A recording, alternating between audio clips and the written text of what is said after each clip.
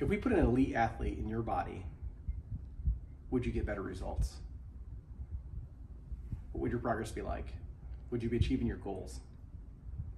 Right? A lot of times we think that our situation is unique, uh, that we have, it's something that's special about us that we're not getting the desired results. This week, I want you to think about going back to the basics, right? Blocking and tackling, right? How's your nutrition? Go right back to it. Are you eating a pro inflammatory diet that's flaring everything up, causing your bad shoulder, elbow, wrist, back, headaches to flare up and have more symptoms, right? Maybe it's a lack of motion. Maybe you've been spending an excessive amount of time in front of a screen. Maybe it's the thinking well, right? So we need to eat well, move well, think well. Maybe it's a lot of stress, anxiety, poor planning, right? Going back to the basics and start directing your life in the direction that you want it to go, that's how you're going to achieve your goals. I want the best for you. If you have questions, let us know how we can help you achieve your goals. Can't wait to adjust you this week.